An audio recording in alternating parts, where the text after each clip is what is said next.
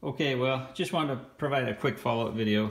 Uh, if you saw my last video, you know that I took the baffle out of the valve cover, modified it, and cleaned a little bit. And I was very optimistic that that might help the oil consumption. Uh, unfortunately, it did not really have much impact either way.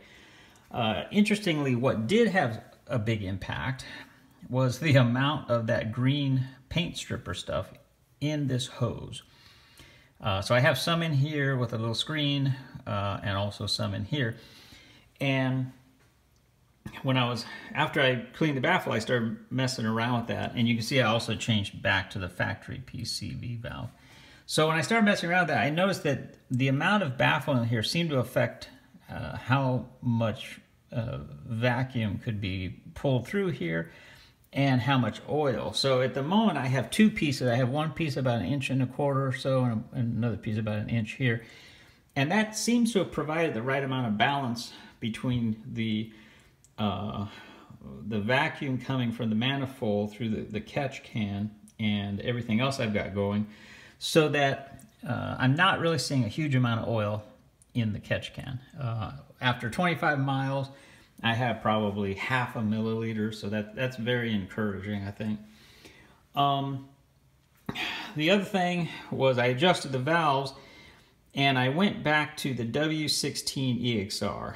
Uh, I decided that the W20 I mentioned in the other video wasn't really letting the motor get uh, run. It, it, just seemed like it wasn't producing enough power. I went back to the W16 EXR2 Densos, uh, EXR-U Densos, and I also went back to the plugs that uh, where I've completely ground off uh, the little strap that comes up and over the electrode.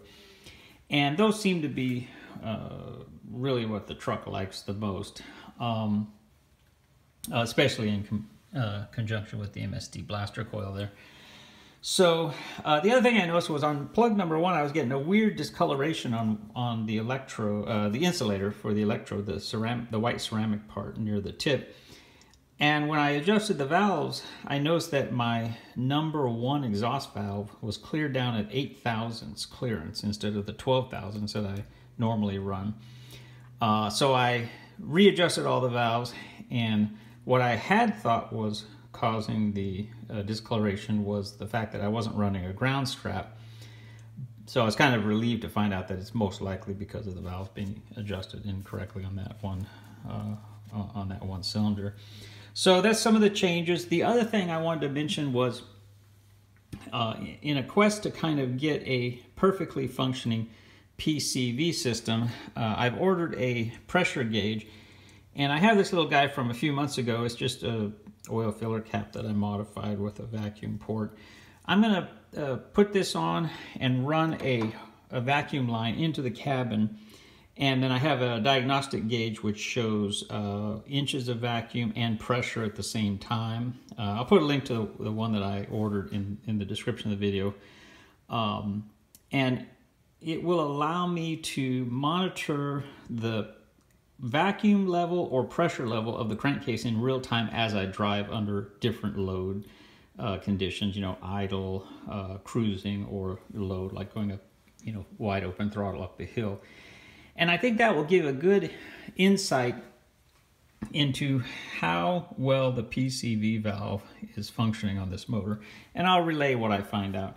Uh, I'm starting to think maybe the person who rebuilt this block uh, previously and bored it over uh, half a millimeter, you know, 20 thousandths of an inch, might have actually put in total seal rings because it just seems like I have a, a, a high level of vacuum being drawn through the PCV system. But when I when I put this little guy on and actually run the truck and uh, change some of the uh, hoses uh, going into the PCV system, I should be able to get a better picture of what's going on. And it'll allow me to tune the system. Uh, ideally, you want about one to three inches of uh, vacuum under most uh, operating conditions. when the motor's you know at idle, there's not as much blow by, so therefore you typically don't have as much crankcase pressure to contend with. Um, when you're cruising or uh, you know running near red line, of course, there's more blow by, and that uh, uh, generates more crankcase pressure, and you want to just make sure that your system is able to draw that away. So I'm going to be doing some some further diagnostics on that, and I'll relate what I've uh, what I discover. But just for anyone who had seen that baffle video, unfortunately, cleaning the baffle didn't really make much difference other than now the baffle is clean. Um, in hindsight, I, I had thought uh, the little rear baffle section that I pointed out that Toyota designed, I thought that might be an area where I could put some of that green stripper stuff in. However, I think I prefer having that outside the motor than inside the motor, and I'll tell you why. Uh, I have some in here and some in the hose, and it's very easy to just take this all apart and vary the amount um, because it inhibits the, the flow of vacuum in this area. So I think it's probably preferable to have it externally than internal. Uh, plus, I don't want it finding its way around the motor. Uh, I also have purchased some other pieces to maybe fabricate a slightly different little pre-baffle. So that may be something in the future.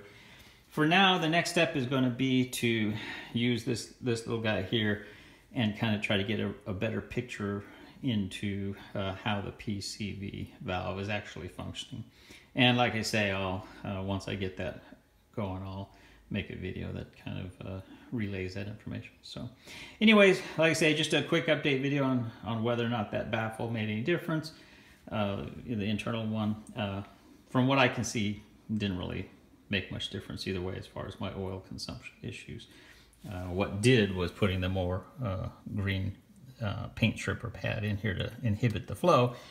And like I say, you know, 25 miles and it's down to probably on the order of half a milliliter, maybe one milliliter. So that's right around where I want to get it.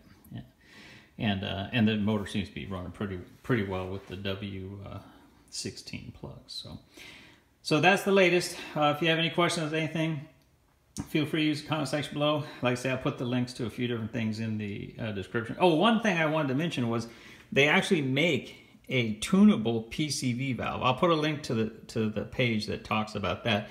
It's about 100 $120. I'm not sure if I want to spring for that or try to make my own, but uh, I do like the idea that, that it has uh, individual circuits that can be tuned for idle versus cruising. So uh, depending on what I find out using my vacuum pressure gauge, I may look into uh, getting that PCV kind of custom tunable setup and running it on the truck. Uh, like I say, I'll put a link to the, uh, I'll, I'll put a link to that product in the video. Maybe I'll reach out to the company uh, directly and see if they want to uh, provide one for testing purposes because I, I, think that would be kind of something that might be kind of interesting to test out. So, okay, like I say, as always, uh, thanks for watching. Uh, like and subscribe if you're in the mood there, uh, as that really does help the videos and the channel. Thanks very much.